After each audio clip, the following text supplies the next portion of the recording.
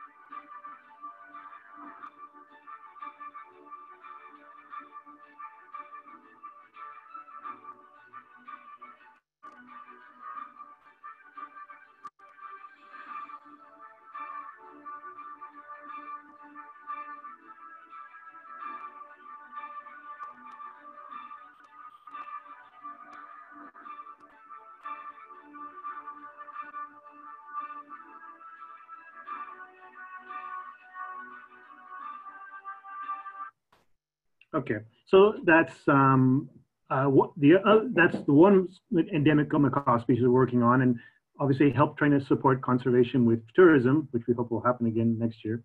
And then I'm going to be talking about the blue-throated macaw. So these are them.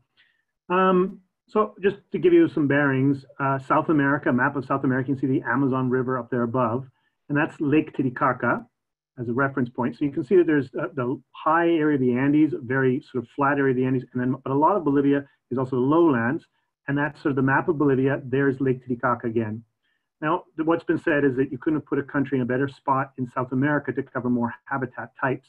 So we have a, a variety of habitats within Bolivia, which is why we have a, a, high diversity of birds, including parrots. So tropical humid forests, we have mountain forests, which is called yungas, cloud forest, the, the temperate dry forest, that's the habitat of the red-fronted macaw. We also have the Pantanal, which is the habitat of the hyacinth macaw. That population is mostly in Brazil, but we also have it in Bolivia and then the Beni savannas, and that's, that's where we're going to be today. So uh, Beni savannas are mostly savanna. It's sort of a mosaic of what they call gallery forests, forests near rivers, forest islands, which are raised areas, and then savanna and a, a series of variations on that, that grassland theme.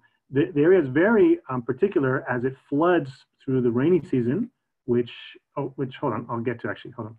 Um, so, so that, that whole area, it's about the size of Texas. No, hold on, I'll, keep, I'll get to 420,000 people, about 10 million cows. So it is mostly ranching land, mostly private ranches.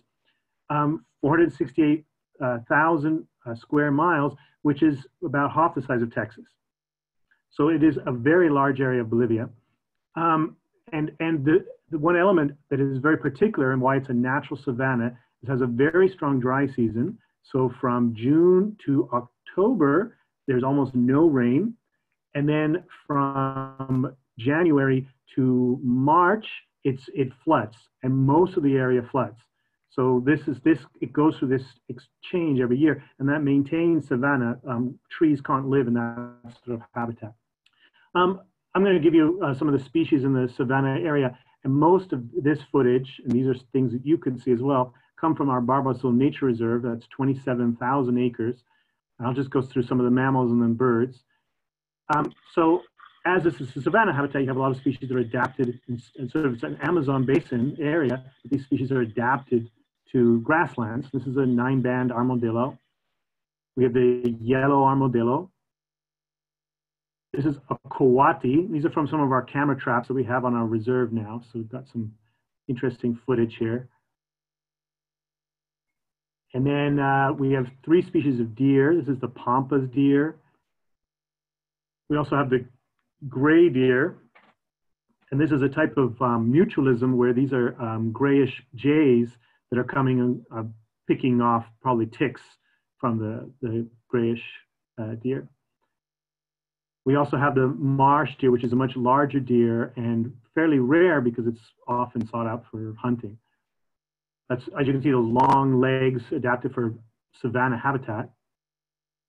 And then we have the maned wolf, which again is another species adapted for, for savanna habitat. That's a, a picture of it there. Another species that's purely savanna, the giant anteater, again in our, our camera trap spot, that uh, tends to do a route every day, visiting the different uh, ant hills. And then, and then as we're protecting that area, we're seeing a lot of predators come back. So this is the ocelot. There's a young ocelot behind it. And we're also seeing our population of pumas increase quite a bit now. And that's, it's just part of, we bought their area, we got rid of cattle, and now that the whole area is sort of recuperating. And uh, this guy did pose for us, which was very nice of him. Um, there are jaguars on the reserve, but none of them have stayed right now. They're just passing through. But so the whole area has jaguars as a species. And then birds, savanna adapted birds, the greater rhea, um, purely, you know, almost looking like an ostrich in the same family group, um, but to a savanna habitat. The, the Beni savannas receive a lot of the um, um, water species from Argentina in a sort of reverse uh, austral migration. So in Argentina's winter, which is now ending, we're going into spring um, a lot of these birds come up and spend and sort of congregate in the in the savannas. also, um, a lot, we also are working on protecting a lot of these tall grass, small birds that are threatened because, because most of the grass is cut for cattle and burnt. So you get a lot of these sort of um, smaller species that need tall grass that are, that are populations are, are suffering. Cock-tailed tyrant, that was a black-masked finch, cock-tailed tyrant here, uh, streamer tailed tyrant. And then you also have uh, just birds that are adapted. So the toco toucan, and this species is adapted to savannas, just edge species and isolated uh, forest areas. And that's the same situation with the blue-throated macaw. So there they are, blue-throated macaw. We estimate there's about 450 in the wild, maybe a little bit more, a little bit less. Uh, the population definitely increased in the last 10 years. and That's partially from our efforts. Um, the species relies heavily on this motacú palm fruit. That's the 80% uh, of its diet. Um, and it shares the area with the blue and yellow macaw. And I'm sure you, are familiar with it, but you see the black line and the white skin around the bill opposed to the pink skin. But the birds um, do are often seen together, uh, perching together. They will roost together. So here you have blue and yellow on the left, blue-throated macaws on the right. Get an idea of the variation there. But the thing about it is the blue and yellow macaw is found in this area, and the blue-throated macaw is found only there in the world. So 450 birds, uh, critically endangered, and uh, we're working to try to make sure the species is stable. Um, so if we take that area of the Beni Savanna, sort of smaller part, expand on it, these green um, globes, or which one call it, are, are what we've found to be three sort of separate blue-throated macaw populations. So we call it the western population. Then we have the northern one to the right. Uh, high, high, I guess you can see my mouse there. No, I can do that. Um, so, so that would be the western population. That's the northern population. That's the southern population. And we have a reserve in, a, in a, the northern population and then we have a reserve in the southern population. I'm going to sort of talk about that and what we've been doing there on our conservation efforts. So the, the southern one is the Laney Rickman uh, Nature Reserve. Okay, something just came up in chat. Okay. Um, so as a conservation project, what as, as they should do, we had a, a species action plan, right, where we put out all the priorities and what we want to be working on. And basically, um, that is to do the, the best thorough conservation we can do. Um, what we're looking at are, first of all, what are the threats to the species? So for the blue-throated macaw, illegal pet trade was a threat. Another threat was killing of the bird um, for the headdresses. And this is the indigenous headdresses that, that, were, that they use in the, the savannah. Another threat to the species is introduction of diseases which which was something. This is just an example of what happened in the U.S., but but it can be an introduced disease can be devastating and habitat destruction. So these are the main threats to the blue-throated macaw. When we started working on the project, we, we sort of looked at these four main, main threats. But you also have in, in a recuperation what they call limiting factors. And, and everything in nature basically has a limiting factor that, that what, is, what stops a population from growing larger. And the four sort of known limiting factors are food, predators or competitors, disease, and shortage of breeding sites. These are sort of the main uh, limiting factors. So if ever you're working at a species and looking how it's recuperating, you should try to look at these factors. So that's sort of, you make a plan where you, where you really are trying to um, unbiased, uh, objectively, what are the things that need to be done and and what and then and research maybe some of these what could be the main limiting factors that are not allowing the species to recuperate. And i'm saying all this because it's it's it's important that people understand. So if if the main limiting factor is food resources getting enough food or illegal trade the response to that wouldn't be to the solution is not to captive breed and release birds. And, and that's something that you need to understand that every conservation bird and situation is different and and and people need to sort of have an idea of what are the limiting factors and what are the threats and then you're responding to those and you're not just uh, captive breeding. And i'll, I'll tell, talk about why i'm sort of bringing this up i want to stress that point because we, we are trying to be very objective. So our program um, when we first began, we worked, uh, the, it was clear that illegal trade was, was the biggest problem, and we worked very hard on this. So these are older photos, um, but we had uh, macaws going through, it was sort of without any control whatsoever. This is red-fronted macaw. We had hyacinth macaws coming from Brazil coming in. And what, what we decided to do, and this is Marcelo Herrera, and he worked for the project, sorry, Mauricio Herrera, and he worked for the project for seven years. But he, his, his thing, he said, is that the people just need to know about this bird. They need to know that they, the Beni savannas have an endemic species. And if, if they know that, they'll want to protect it. And, and so basically for, this was with Loro Parque's support for about four years, the project was really, I mean, you know, here we had a big conservation project. We have biologists working on it, but the most important thing to do at that time was just let everyone know, let people in the Beni Savannas know that this bird is, is threatened. So it, we did everything from posters, pamphlets, and this is him visiting ranches where there's no electricity, giving a, a demonstration on his laptop, um, educating children. Um, and, and then we got what we got from that, and this is sort of now old news, but this is this was a, a one of the examples, but a bus that travels where the person wrote on it, uh, "Help me to live," and and and the message was clear that people wanted to protect the blue-throated macaw. And and from that, we we can basically say we brought illegal trade to zero, and um, we now have friends in the market. Whatever we haven't had birds sort of openly being sold now for about seven years. Um, occasionally you hear about a bird is showing up somewhere, maybe someone's raising or something, but um, the threat in the wild has really gone down. Um, the same thing with the, the killing of birds for the headdresses. This is a traditional um, ceremony. It's very, there's a lot of pride in it in the Beni area. It's something that we want to be careful with, but there are also high schools sort of making these headdresses with macaw feathers for parades and whatnot. So we just began a program, this, this, this is about, again, five years ago, where it, it was an alternative. And it basically, uh, using a palm um, frond with cloth, these, they, the, they were shown how to make them, uh, these headdresses, and then, and then they could be replaced.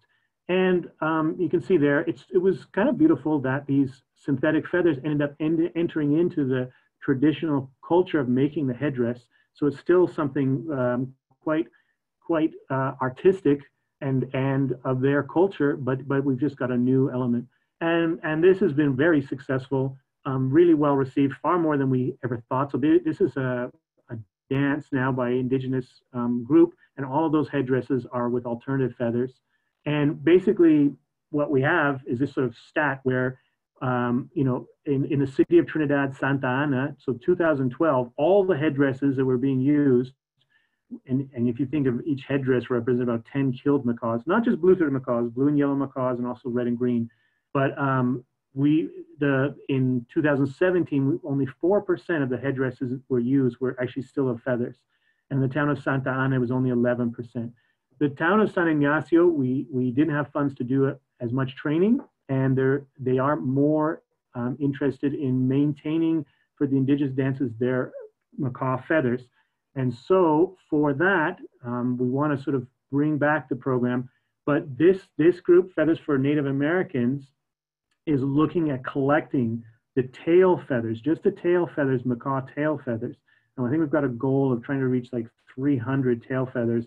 There's going to be a bunch of problems with societies bringing it down, whatever, but we've got people who say once we get enough, we could bring them down and sort of bring them to that, those indigenous communities so that the, authorized indigenous groups that are doing the dance would receive these, um, these tail feathers. So that's something you want to note if, if you're interested. There's the, the, the web page there. Um, some of the stuff, the links I'll put in the chat at the end as well. Uh, and the introduction of diseases is something that um, we're very concerned with. Uh, we're trying to be objective about this. Uh, there, it, it's, it's for an NGO, for a conservation group, it's a way to get a lot of attention releasing a bird in, in the wild. The, the, the whole idea, many, many of the people in the general public love that idea. But the problem exists and still exists that there are diseases that can't be completely tested for. And so you run the risk, especially with many parrots that mix with birds throughout the world, of introducing a disease into the population. And, and the question is, do, is that what needs to be, needs to occur? And we just had a, a long discussion with London Zoo because they were thinking about sending down zoo, um, birds. The, the World Parrot Trust is very interested in reintroducing um, captive birds into the wild into Bolivia.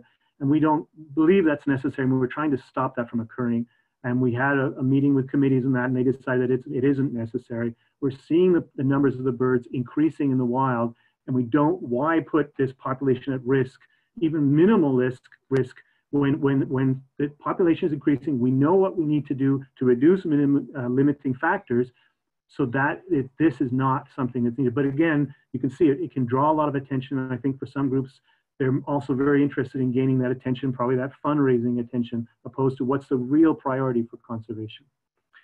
Um, so most of the Beni savannas, grassland, uh, and so grassland is ideal for cattle, and so it's all private uh, cattle ranches pretty much. There's no national park in the area, and that's a lot of habitat impact.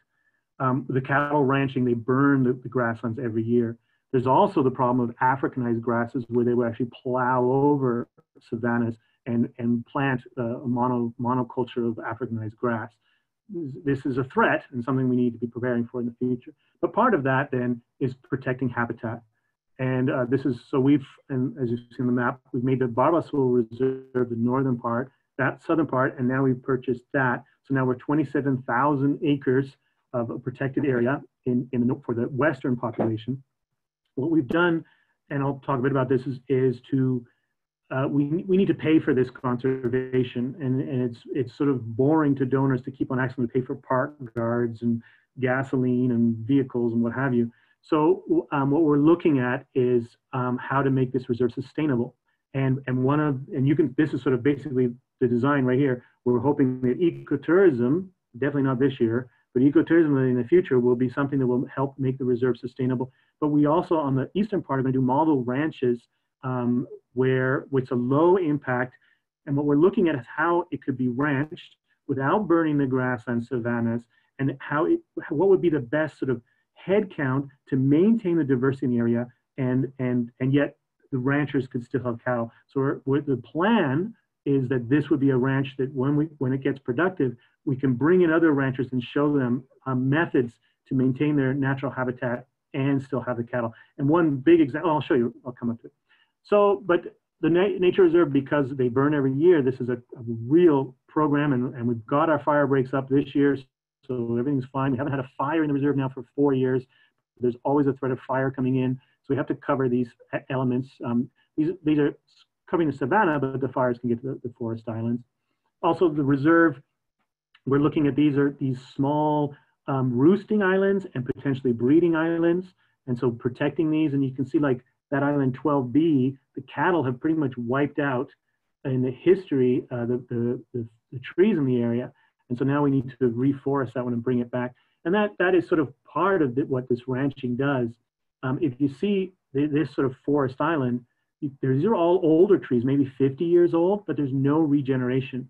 And, and so really, I mean, a lot of the ranchers, even ranchers want these forests to, for shade and, and protection from storms in the area. But if that, if that's left to continue for the next 80 years, they, the Beni savannas will lose 90% of the forests, the forest islands, which is the food resource, motacú palm of the macaw. So it's something we're, we're working on heavily. Um, we've been reforesting these forest islands. One of the, one of the things we discovered that, that, that the problem isn't so much the seeds in the area, it's that the soil is so compacted that seeds can't germinate. And so the first thing to do to go in there is just dig and dig and dig and, and loosen up all the soil.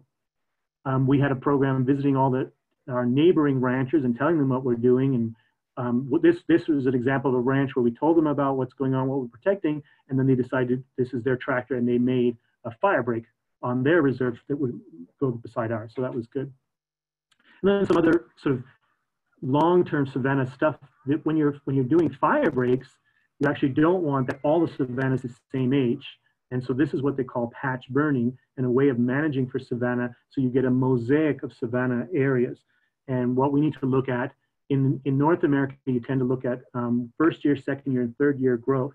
But maybe in Bolivia, it could be five years of growth. And so maybe doing patch burns where, where we have um, tall grass beside three-year grass beside recently burnt. And there's also some uh, birds and mammal species that, that like to breed in the tall grass, but then forage in the, in the, in the very short area recently burnt. So you want to have that mix.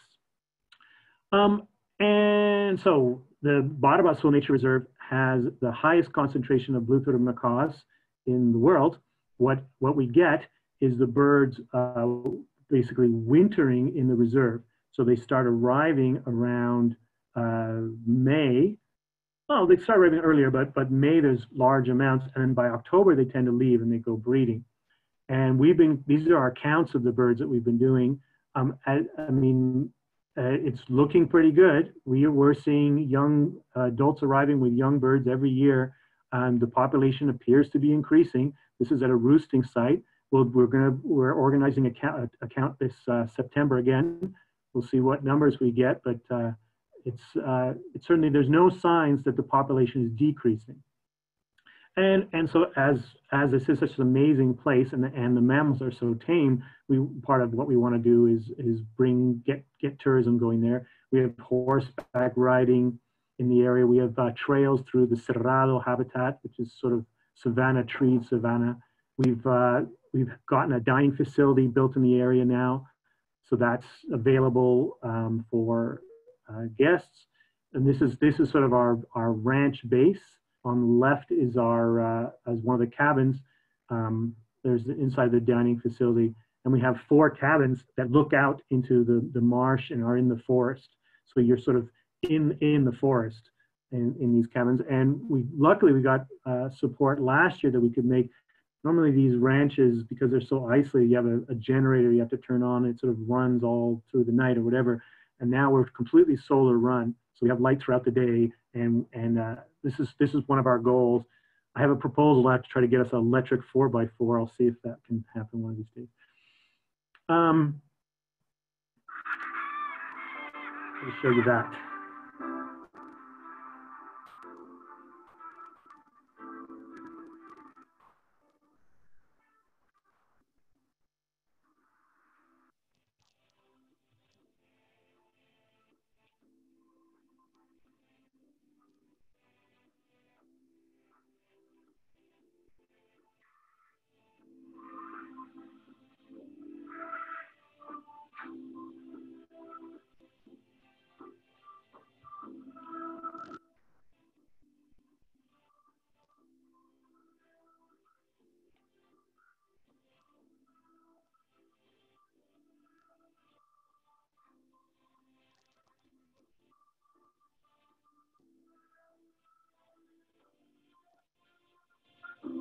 Thank you.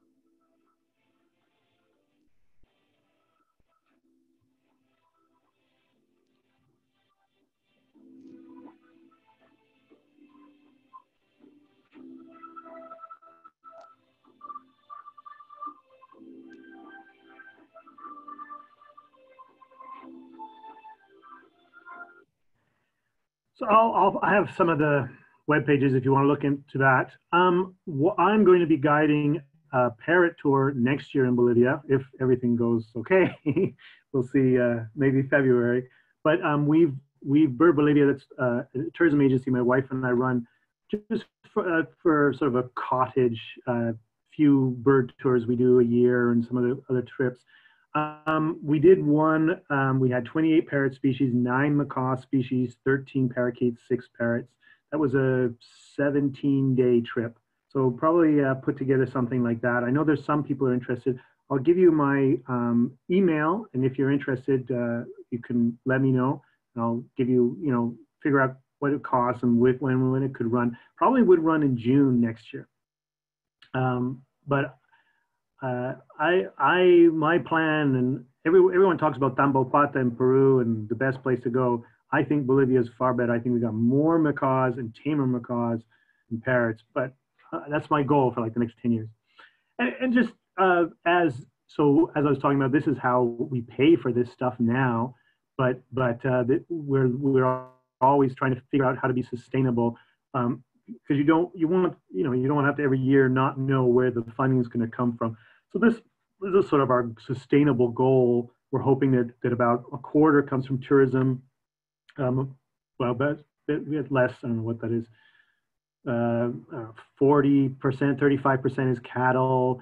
Um, we've got a group called Friends of Barba Azul. These are, are people, individuals who give $10,000 a year to support the reserve. Um, that's become quite a, they're sort of more involved in the management.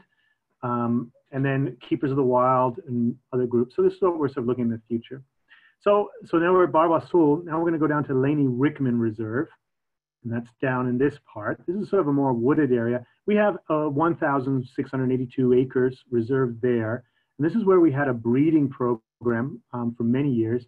We call it Laney Rickman, named after Laney Rickman, who um, from Texas, she was very involved and helped supporting our nest box program. And she, she was the one sort of came up with the idea of the nido adaptivo, really helped um, bring the blue-throated macaw conservation efforts to North America.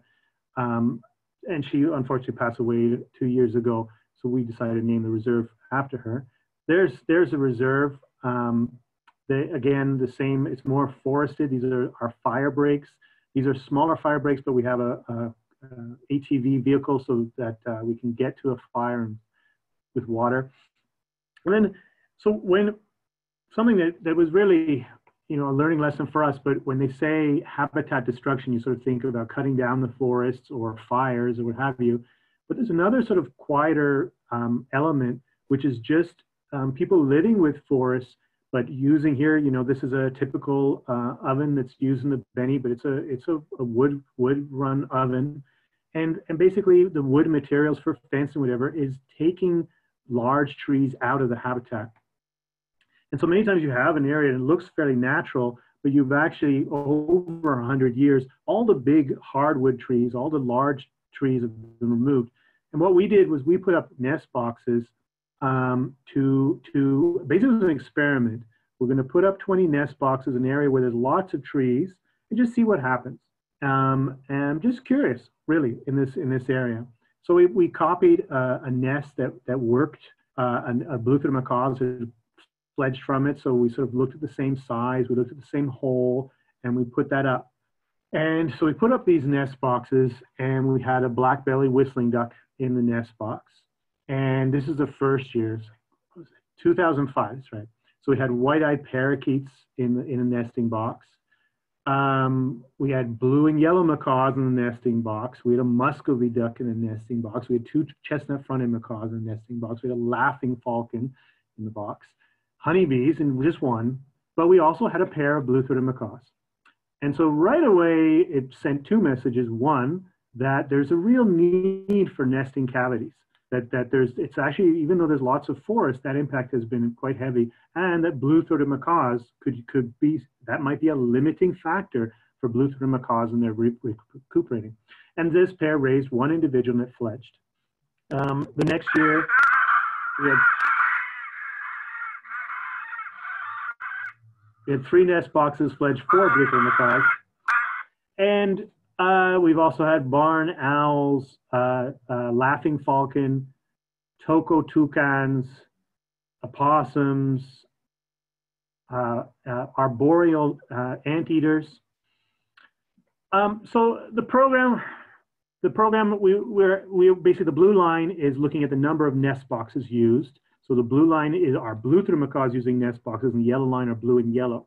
So this was successful, but it needed some improving need to be working on it. Um, basically, as I said, we were following that design with this, this big hole in the blue and yellow macaws, and they loved our nest boxes. And some people, some people said, well, it seems like you're doing more of a blue and yellow conservation project than a blue-throated macaw conservation project. We had uh, blue-throated macaws take to a nest box, and we come back a week earlier, a week later, and blue and yellows had taken over. And we found that blue and yellows were more aggressive and that they would remove blue-throated macaws from the nest box. So we started experimenting with the nesting hole and the boxes, looking first, we thought it was too big. Blue-throated macaw smaller than the blue and yellow macaw. So we started reducing the hole, but but we also couldn't just you know take it and reduce it to you know we get this funding by supporters every year to support this project. If we just went down to a really small one and we had no blue-throated macaws, it would have been a failure people lost hope in us. So we do like every year we were doing a little smaller, a little smaller the whole, you know, just to see what's going on. And we were seeing what we wanted, where we kept on seeing blue-throated macaws using the boxes and less and less blue and yellow macaws. Then we put a harder wood in the front because we found the blue-throated macaws really like to chew, but not so much blue and yellow macaws. So blue-throated macaws don't have a problem chewing a bit bigger or wing wing uh, slits to get in. And basically got it down to this by 2015. Um, base, got the blue and yellows out of the boxes and, the, and you can see the blue-throated macaws more, more. And that, that was what we were, a 10 centimeter hole. That seems to work very well. Um, and that's, yeah, so then again, uh, blue, again, you can see that 2018, we had more blue-throated macaws using this, and that's this year's, that's with this year's data. So um, we had last year a little um, problem because we had an intelligent pair of blue and yellow macaws that, that we have a little door to go in to check the chicks, and they ripped that apart, and we're, we're using the nest box through the hole. So we've had to do reinforced doors to our nest boxes to keep the blue and yellows out. They're smart birds, these macaws. So that's that's um, this this year we had um, 12 chicks. You can see that, uh, that, we call it breeding attempts now because this year we actually had blue-throated macaws that tried to breed in a box. It failed, the eggs failed, and then another pair or maybe the same pair tried again. So so uh, we had that twice. So so now we call we're calling it nesting attempts, but we had 12. Um, and basically, you can see that this is what, what blue-throated macaws will do with nest, nesting boxes: chew them up like crazy, make them theirs. Um, this is these are some uh, blue-throated macaw bred nesting boxes, uh, and you can see the, they they like to take that round hole and then make make a little slit to come in and out. Um, I'll put uh, if you haven't seen it, I'll put in the in the chat. There's a link to a video we made of the breeding of them in the nest boxes this year using nest cams. It's, it's kind of a fun video Oh, I went one ahead. Um, and this, these are our results for this year. So again, um, looking good. Uh, what you see is the yellow line or orangey line are the fledglings. The fledglings, uh, birds that have chicks have fledged from the nest box. So we've had the, the most 12 last year and this year, the same amount. And then the blue line are the number of attempts, which is again increasing. We're also seeing, um, this year we had three pairs with rings. So we're seeing birds that, that fledged from the nest box and then have now come back to breed. And, and as you guys, I'm sure know, often the first years of young breeders, are they're not successful. So, so all it indicates that this is just going to continue to improve. Um, you can see that these are, these are, this is a pair that bred um, and they have rings, so they came from a nesting box. And then just talking about all that, this is for the Laney Rickman Reserve. These are, this is, this is what it costs. It costs us about $40,000 a year just to keep it going.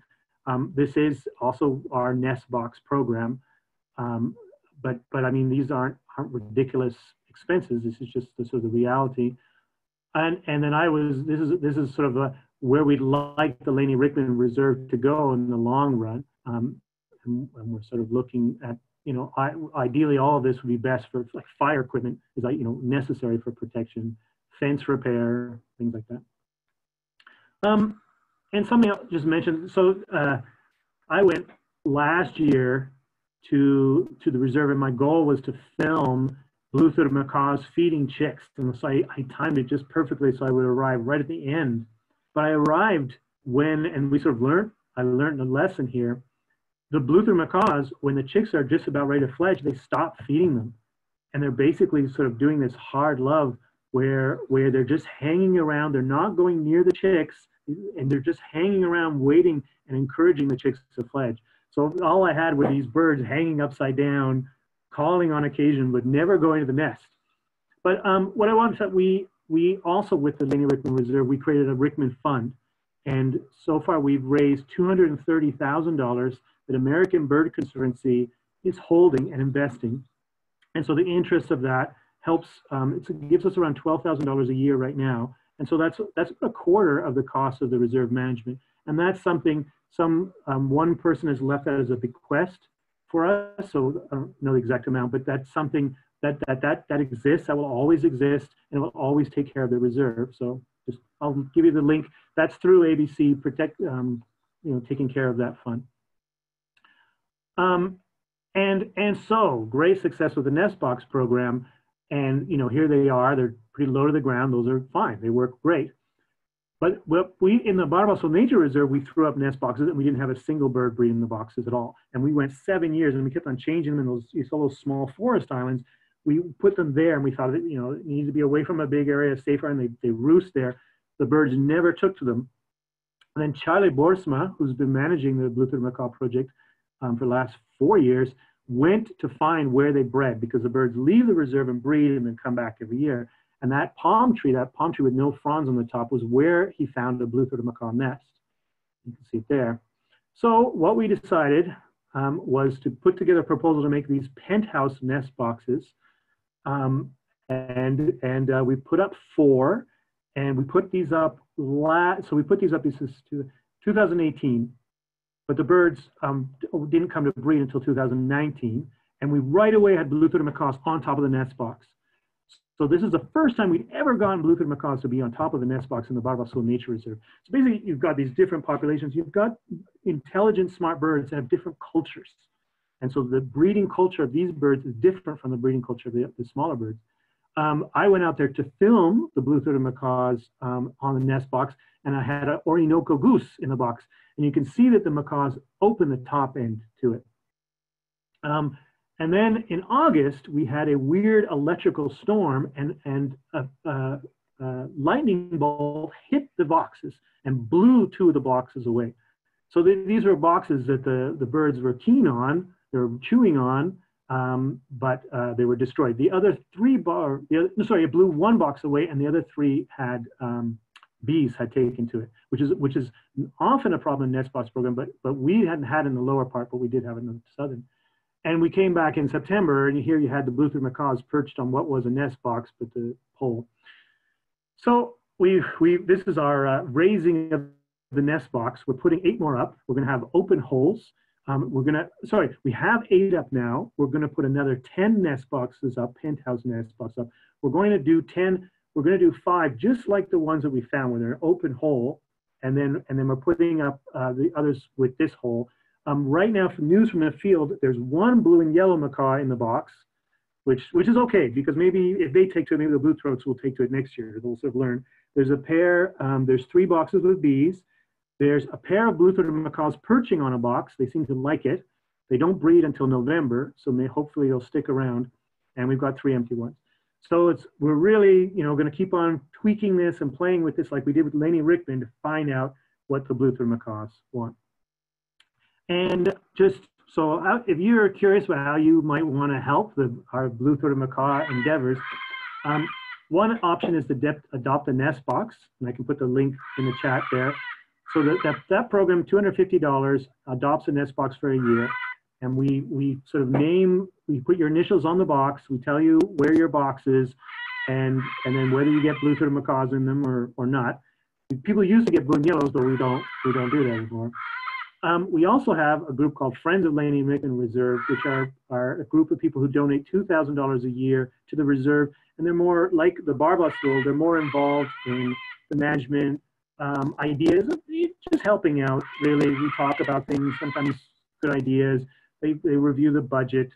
Um, so there's that option. Um, that's the, and I'll, again, that's, so you, that can begin, ABC holds a page for us and that's at abcbirds.org, donate Armonia. Those funds go to us. And also there is the Laney Rickman Reserve Fund, as I mentioned, which is something forever, per perpetuity. Um, some people are leaving as a, a bequest.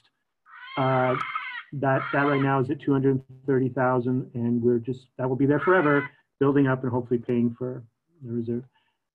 And all of this wouldn't be possible without so many groups that continue to support us. Um, faithful donors, ICF from Canada, uh, World Land Trust has us purchase reserves, pays for our park guards. American Bird Conservancy been fantastic supporting land purchase and reserve protection.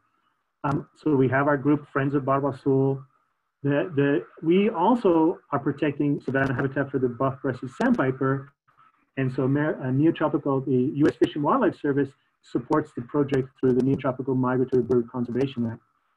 Uh, Rainforest Trust supported the purchase of the land, and we're looking at supporting more work at uh, Laney Rickman with nest boxes, March Conservation Fund, IUCN Netherlands, Bird Bolivia, Bird Endowment, Cincinnati Zoo support us last year, and the Mohammed bin Zayed. Okay, and so that's the end of my presentation. Thank you. And I'll copy the link in the text.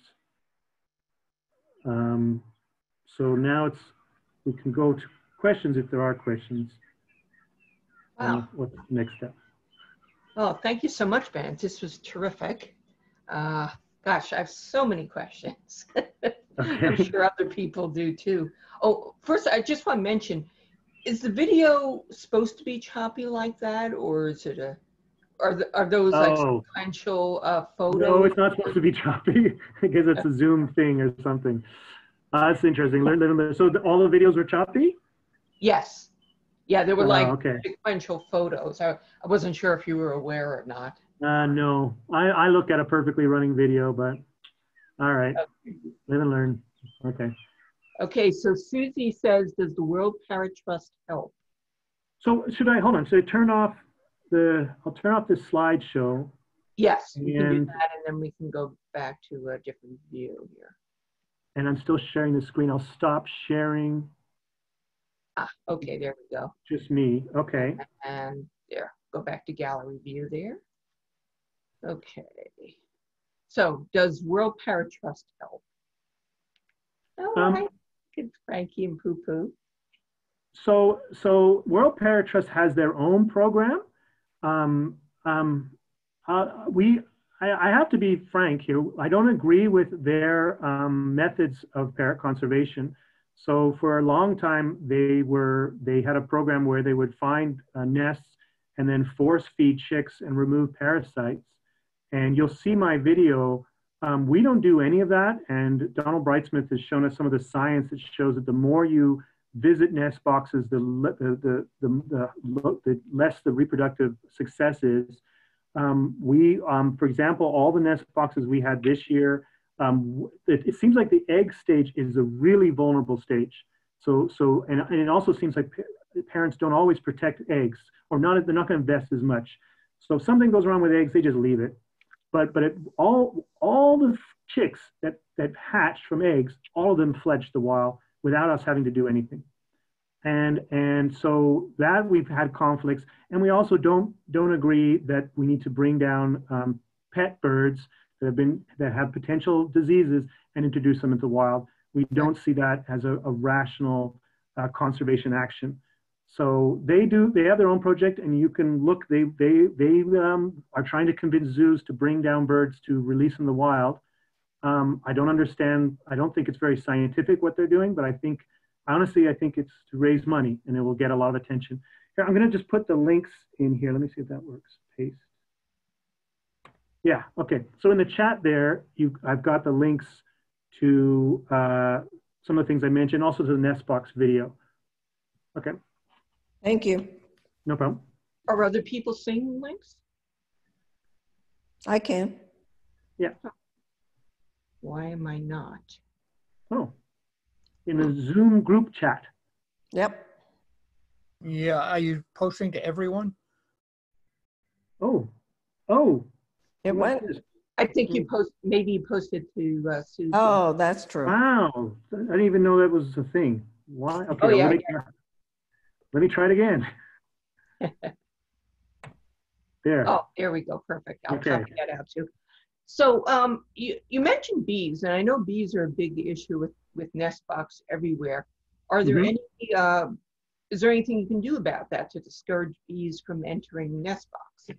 Sure, um, um, and we'll experiment with that. With with our nest boxes in Loreto area, the southern part, they were only in, in about 10% of the nest boxes, and often less. So it really was never enough that we needed to do any of these measures. Um, but there's one where there's a type of plastic that you can coat the roof of the nest box with, the problem is macaws like to chew on everything, and, and the question has been, are we going to be putting in plastic and the macaws going to be chewing it and, and swallowing it or giving it to their chicks?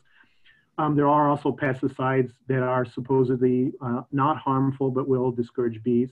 We, um, that might be one of the reasons why macaws like the open roofed um, um, uh, holes of, of trunks, that the, the bees don't tend to go in those. So we are going to put in some of those. I mean, the Barba Azul, nature reserve, those, we have had more boxes with bees. And, and we'll, so we'll just do it year by year and, and see, you know, if they take that, I, I think macaws would prefer a roof, a nice closed cavity but maybe this is a, a, a, compromise they had to make in the wild because closed cavities are more with bees. Um, um, we'll, we'll look into this, but, uh, but there are, there are things that can be done. Again, if it's only 10%, I think that's fine. Bees are part of the ecosystem, you know, that I can. Well, do bees tend to go in their natural cavities also, the natural nesting cavities? Oh yeah, sure. I mean. Okay, so yeah. this, they're used to this problem now. Yeah. Yep. Okay, okay.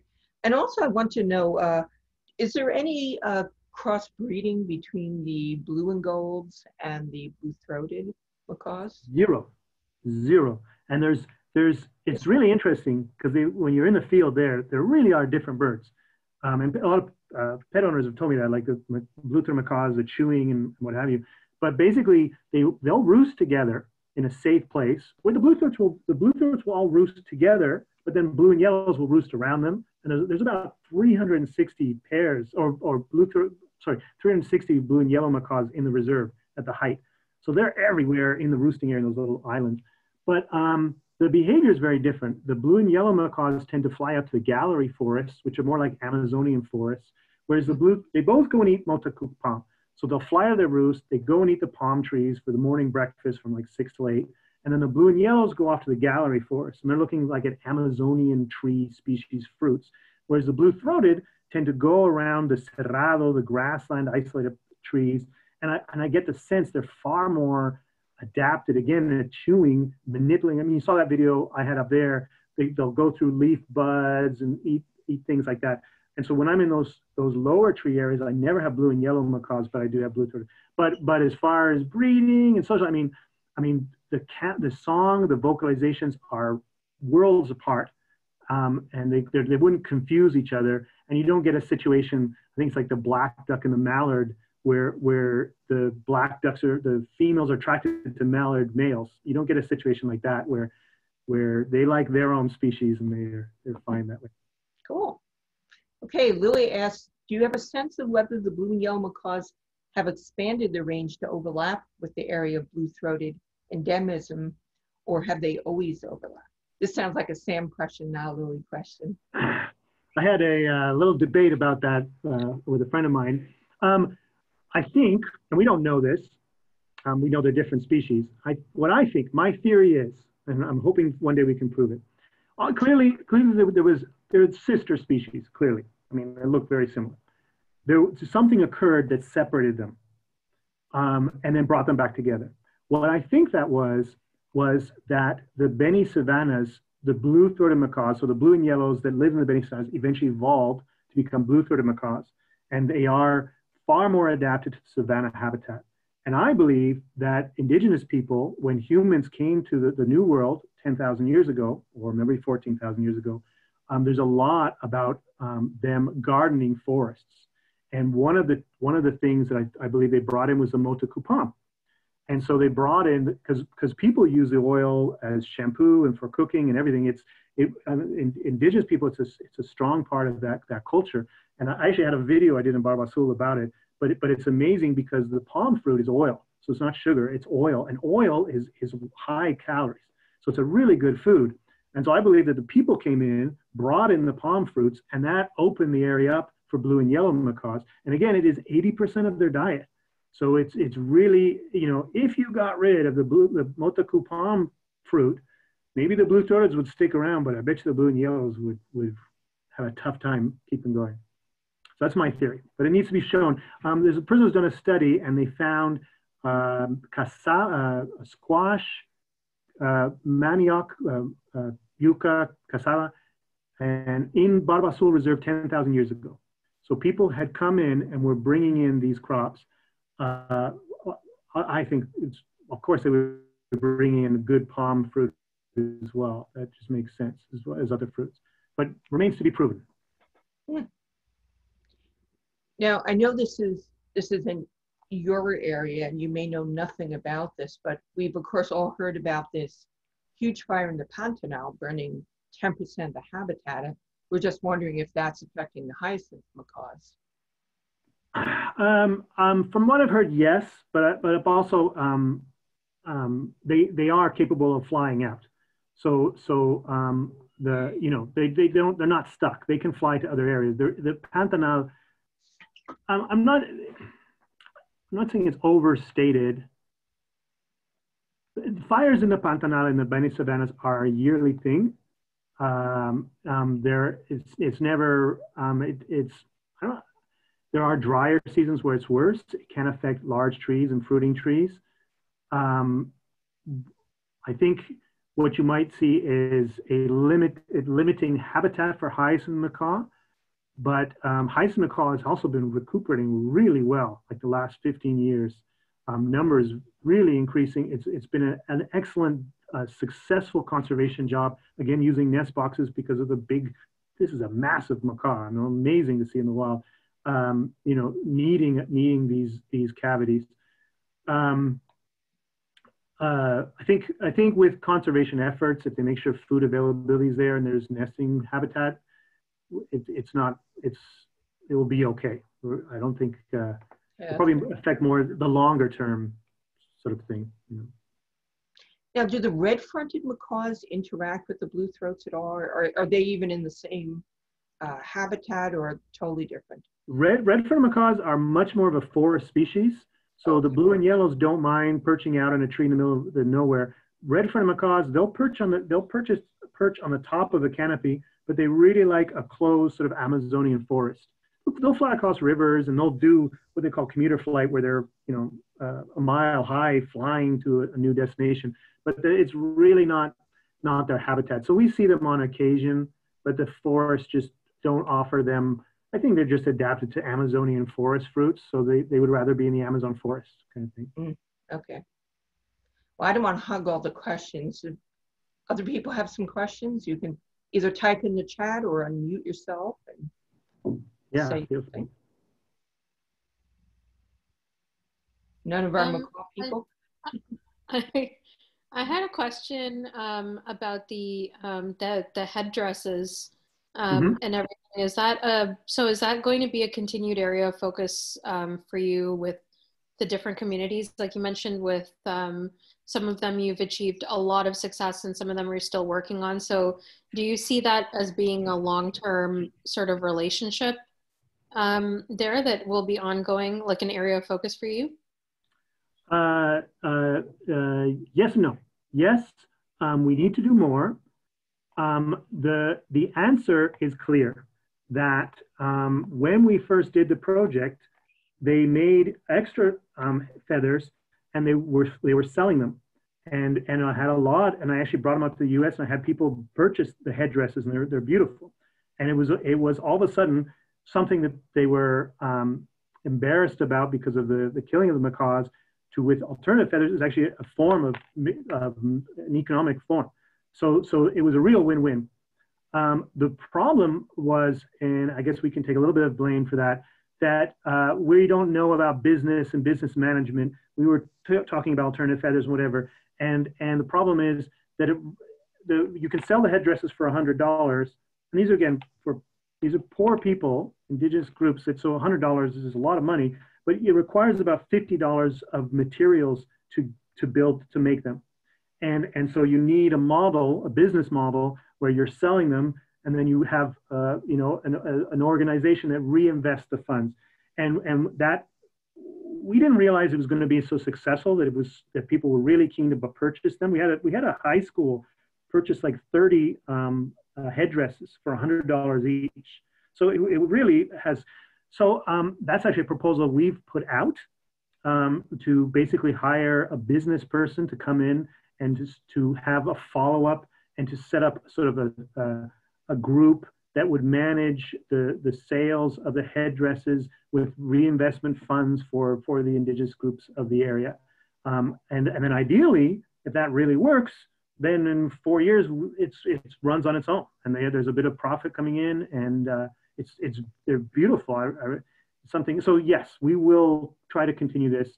Um, we we just need some well some sport and looking at uh, business professionals who who know that kind of model and to do. You you actually brought one to the club when you Yeah, there visited you go. person. It was it was gorgeous, absolutely enormous, and uh, it was Yeah. it was really stunning. Yeah. Really Yeah. stunning. So you met you showed three communities, but I assume there are probably a lot of communities that Well, yeah. or The, the, just in that one area. Well, the three you tend to have um, the big uh, fe- festival, and the and the, the smaller communities all come to one spot and do the dancing in that festival area. So But everybody has to have their own, it looks like. yeah, I mean, you, you could, you could, if people were capturing blue-throated macaws and killing them, these headdresses, you could just wipe out the entire population in one, one fell swoop. I mean, there's um, like 450 birds, that's it. You just kill all Yeah. the birds to the headdresses and they'd be gone, so. Yeah, well, and it's actually very interesting because you go to the roosting sites of the macaws, and and they'll fly off their roosting site at midnight if you walk up to it. So they're still very careful with humans. They don't like anybody being around them at all. Yeah, well, can't blame 'em. We, we see Peaches, the blue-throated macaw, in, the, in Barbara's window wandering around. There we go. Hey, we're talking about you, Peaches. he's not, he's not impressed. Uh, do we, do we have some more, any more questions or? Uh, I'm also a U of T alum, so Oh, hey. You know, maybe you could even get, you know, I don't know if there's a business person that would volunteer to do this. Maybe somebody's retired or something, so you, you wouldn't have to spend all that money hiring them. Yeah. Well, um, I think what it, what it, what, what I've noticed, I've seen um, these kind of initiatives in the past, and and it's often um, it's not that it's that hard to do. It just requires follow up because it's almost as as, as if uh, you're you're you're it's a it's a new philosophy like cultural way of doing things, and and it just needs every year you know, do it again. What went wrong? What things need to be changed? Um, it certainly can can occur. This is often like I've seen ecotourism projects that are they're great, they're wonderful, but they just do training for a year and then leave, and and that's not enough to make something sustainable. You know, so that's And this that's wasn't even, this wasn't even designed to be a business, right? This was designed. Oh yeah, for local people to have headdresses, but this could turn out to be a, a significant source of income.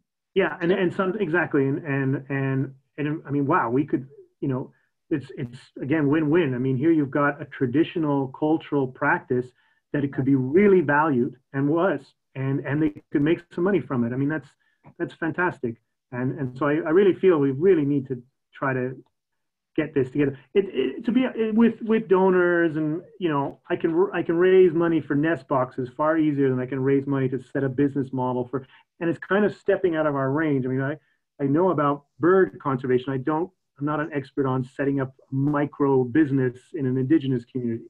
You know so Right. Yeah. Right.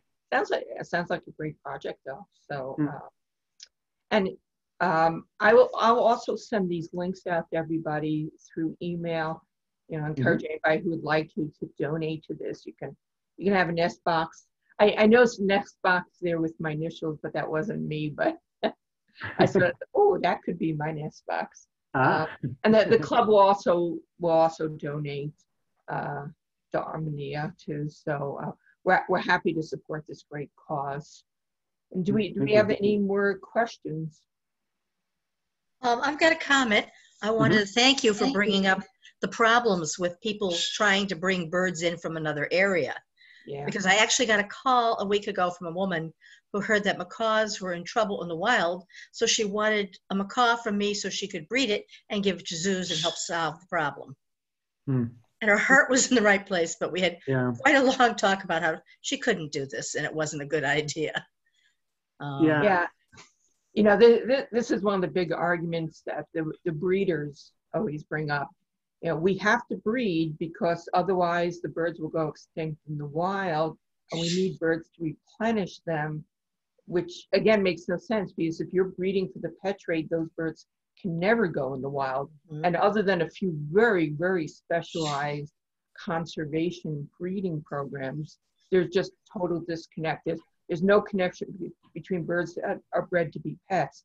And people even say, well, once we kill all the ones in the wild, we can put some in zoos. And of course, that's just like the one of the saddest things in the world. I mean, of course, in uh, Cincinnati, that's where the last at the, the Cincinnati Zoo, that's where the last passenger pigeon died. And Sam's from from Cincinnati. The last passenger pigeon and the um, um, uh, what's it called? you're, you're mute. Um, Carolina parakeet. Carolina parakeet, right, right. And when I went to Cincinnati last year, I actually saw the the very, very sad enclosure where both of them actually died one after another. So um, this, you know, if you see breeding people say that, it's just, uh, it's apples and oranges. It's totally nonsensical. I mean, they're even doing this program now with the Spix's macaws, and they've moved a bunch of them back to Brazil. And, you know, I, I have reservations about that. One of which, of course, is if they release them, you're going to get criminals that are going to go and just kill the ones that are released to for somebody to eat or to put in their or take them to their private collection. But um, and do those birds even know how to survive? So uh, let's see. Oh, right about ah, uh, microloans with Kiva for a business model. Uh, oh, nonsense with the German zoo. That's what we're, yes, the ACTP zoo, Yeah. yes, zoo in quotes because there's, we don't know what's going on there. It's supposedly public, but yet they don't release any information. And then Australia sent them birds that were never supposed to leave the country. And they took all the Spix's macaws from Al Wabra uh, when they shut down. So they have most of the Spixes in the world and they won't tell anybody what's going on. And where, for all we know, they may have eaten the birds. So we, we don't know or given them to private collectors because they, you know, it should be considered a worldwide resource. They shouldn't be considered private property. But I guess they did send some to Brazil, but not really sure what's going on there either. So, so interesting take on on all this. Yeah, microloans. Uh, yeah, you know, I support Kiva um, all the time. It's probably one of the very few non-animal um, organizations I support. Because for those of you who don't know, they're these $25 microloans. and they go all around the world uh, to help people who need small amounts of money. And um, it really, you know, they might need $500 or something to be able to open up a store. So all these little tiny microloans that people who would never be able to get actual loans from a bank are enough for them to get a business going or to to do small projects and stuff. So it's it's and then they have to pay it back. There's a schedule they pay back, and then you can reloan the money out. So it's it's a really very very worthwhile organization if you want to help poor people around the world get a leg up and and and try to move out of their poverty and onto to other things. So okay, any more comments or questions? If not, I I want to thank everybody coming. I want to thank Bennett especially. Marianne has a question. Oh, I'm sorry. Okay, go I- ahead, I- Mary I didn't know I was on. I was looking to see if I was on here. Sorry about that. Um, No just problem. quick question, um, about the babies. Uh, Mhm. Ben, you had mentioned that they, um, well, get the babies to fledge from the, the nests as, as soon as they can. And I, I was curious, do the blue-throated and the blue and gold, are they the same in that regard? And are other macaws in the wild, are they the same or are they, they different? Do, do they treat the babies differently as far as feeding them and encouraging them to leave? I, I, I, I don't know.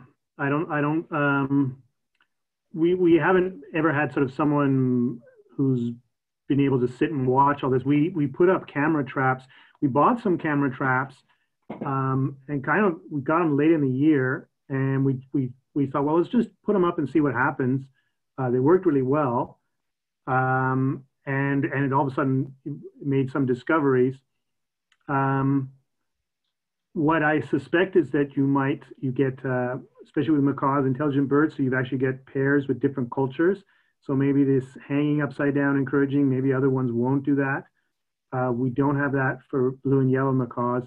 Uh, Cesar, our parabiólogo, who's been doing most of this work, he, he wasn't really aware that they stopped feeding them. But once we, I mean, these cameras really did, and we might, I mean, you know, we'll do, we're going to put the cameras from beginning to end next year on a few nests, so we'll have better data. Um, we had problems. We put the, the, the cameras, you know, um, anything moving, it turns on and records. So, so they'd end up, you know, taking a whole bunch of videos of, um, of moving palms in the wind, and then the batteries died in three days. So we have these little little. So we, you know, this was a, initial, but but we still made some incredible discoveries. But it it makes total sense to me um, that that there's a period where you know first of, it's like I, I feel like you can separate breed, uh, the breeding macaws into three parts. The first part where they're young chicks and they need absolute attention and a lot of cleaning, and this clearly has to do with parasites. So, so there's always an adult in the nest. They're very vulnerable. And then there's a period where it's just feed them like crazy and just feed them and feed them and feed them. And you'll see pictures where their crop is just full of food and just get them fat, you know? And then I think it's all right, now that's enough of this. It's time for them to fledge. And the feeding really reduces, the contact reduces, and it's really the, you know, I mean, I mean, to me, I mean, I was, I was really hoping with the camera traps we get some of the chicks coming out and whatever, and it doesn't, it doesn't appear like like they're they're sort of uh, it's it's a situation where when they leave the box, that's it. They're done and they're flying with the parents, and and the box is over. That that part of their life is over. And I I thought it was going to be more of you know, I, I, was hoping to get there with video and you have the chicks like trying to fly and they flap back and they're up on the, doing all these great, it, it, doesn't seem to be that at all. Um, so maybe there's an element of vulnerability of the box and, and the chicks are safer out with the parents hidden somewhere different every night than than the box. But um, so so I think I think that's it. I guess the parents make a judgment. All right, you're healthy now. Now the goal is to is no more getting you fat. It's now getting you flying. And and I mean that hanging. I mean they're very social birds and everything. I mean it's got to be. You know these chicks must be just dying that their parents up there and they haven't seen them for two days. They haven't eaten. I mean, it's gonna it's a good motiv- motivator, you know, tough love, you know. So tough love hopefully we'll get more and more data with the camera traps and that, that'll be pretty neat to, to get, you know, see how that fledging process works. Speaking of the boxes, uh, do you have to clean them out between seasons? Uh, between seasons we do. I, and I wonder, I wonder if we, I mean, they're pretty clean. Um, but, but, but what, what our Cesar says is that it, he likes to put in fresh um, bedding. And I think, I think in a natural cavity situation, what you'd get is the macaws would return the next year and they would chew and eat sort of enough wood that that would fall and create a new level of bedding. Ah, okay. But during the breeding period, you don't need to you don't need to clean the boxes. The parents take care of all that. Have you thought of putting cameras up in the box, actually aimed in the box, so you can watch what's yeah. going on? We, we actually did do that. We had a person do their master's thesis and they filmed it all and then they never wrote it up. And now we're actually looking for money to write that up. Um, but yeah, uh, that's that's going to be our next step. The one, the one we did, we had um, a name for it. Those those is it endoscope? I don't know in Spanish, but yeah, yeah, we had one of those cameras in the box. But you, but at that that that point of technology, the person actually had to go there and sit there and turn the machine on and record a tape, um, and then turn it off. And so there, there, we've got like 50 hours of you know nest boxes that someone needs to sit down and go through. But um but yeah i i think i mean it's it's amazing the you know these the, these camera traps what what things we're learning. So you know. I, I would you know i don't know about the technology of that but i just kind of wonder like my alarm my motion detectors my alarm system. Don't just detect motion it also has to have a heat signature. So uh, for example, a, a mm-hmm. window blind waving would not set it off. It, it has to be heat signature and motion. So I would think that camera traps would have that. So that way you wouldn't get all the waving palms in there, waste wasting your battery. Uh, yeah, um, that's something we want to look at because in the savannah, we we always have more success with nest boxes in in forests because there's less movement. But in the savannah, we were we were trying to look into sort of a, a heat sensor or laser. I've been actually every time I go to North America and I go to a photography store, I ask them about trigger devices, what they have, and it's amazing how they usually just go. I went to B and H in New York City, you know, thinking, okay, this is the place and they said, yeah, no, we don't, we don't, we don't have that kind of stuff. Really? Like, but, um, but yeah, looking at, at what, and that, that's something we're going to look into because one of the problems is, is that the birds start, they fly out of the box and fly into the box so quickly that the video doesn't turn on. And we have all these videos of the box that are shaking a little bit. And we just have to assume either the bird flew out or flew in. So, so we, we need to look at also like a triggering device uh, it, I don't know if you said there's a Facebook group called it's something like bad bird photos or something. It's like eh, where you post your worst yeah. bird, and all of them are like this blur going this way or that way, which is what 95% of your bird photos are until you get that like one. Yeah, one, yeah. Right? I can say Bert's a professional photographer, right, Bert? Yeah. Yeah, well, you know, the, the, the problem with those cameras is uh, unlike your security system, they're not infrared sensors. Uh, yeah. Your security system is sensing infrared, which senses heat. Sensors heat, uh, but security cameras just basically have an algorithm that sense motion. And some of the security cameras have algorithms that can now detect people as opposed to shadows. Right. Uh, but that's pretty hard, and it's not an exact, certainly not an exact science. Uh, and uh, you know, there's a there's one company you might want to contact. Uh, I don't know if they could help. Uh, it's called Wyze, W-Y-Z-E, and Wyze has a new outdoor camera that lasts six months on a battery. Uh, and you know, the issue of getting you know the motion after the fact. Uh, the only way I know of resolving that is with software uh, where actually you're recording all of the time and uh, the software basically kicks in, you know, 10 seconds before it actually senses the motion. So you get a little bit before. Uh, but you need a computer at each site to do that. So uh, I'm not sure how you do that. But, you know, there, there, may be a solution to it. You know, I don't know of it, but I know most security cameras uh, just sense on motion and not on heat. Yeah, we're we're and and like we've got we've bought their hundred dollar camera traps. They're a bit better than the regular ones, but the video quality hasn't been very good, and some of the videos amazing. So we also want to kind of look into. I think I think you know they, these camera traps they're putting it all together in a little kit, and that's part of the price. But I think you know you could get like a a cheap DSLR with you know you don't even need a, a super great lens and then just set up a car battery and sometime a trigger triggering device and maybe anyway but, but we really want better video because it's because it's it's amazing some of the stuff you capture you know well, well the Wyze cameras do 1080p which is you know a decent video uh, uh-huh. you know it's not you know yeah no that'd be great a video but you know it's, it's decent video and it, they're pretty cheap uh, okay. i don't know what their outdoor camera goes for maybe $60 uh, yeah, I heard they're like the top rated uh, security cameras for your home for outside. Yeah, I mean, I, I have three of them. Uh, no, they're, they're, indoor cameras. They just came out with an outdoor one, and frankly, people haven't been real happy with them. But uh, the indoor ones were $35, or actually $30, I think, which was crazy cheap, and they were really high quality. So, and they were, but they work on Wi-Fi. Uh, they also can record to an SD card. So right. you may not need the Wi-Fi. You may be able to just record to the SD card. Yep. I'm gonna have to learn a lot more about this. It's worth worth the effort though, because uh, some of the images are amazing. So. Oh, absolutely, absolutely. All right, this sounds good. Looks like you, Sam and Bennett, are going to connect. Um, thank you so much again, Bennett. This was tremendous. I always love hearing from you.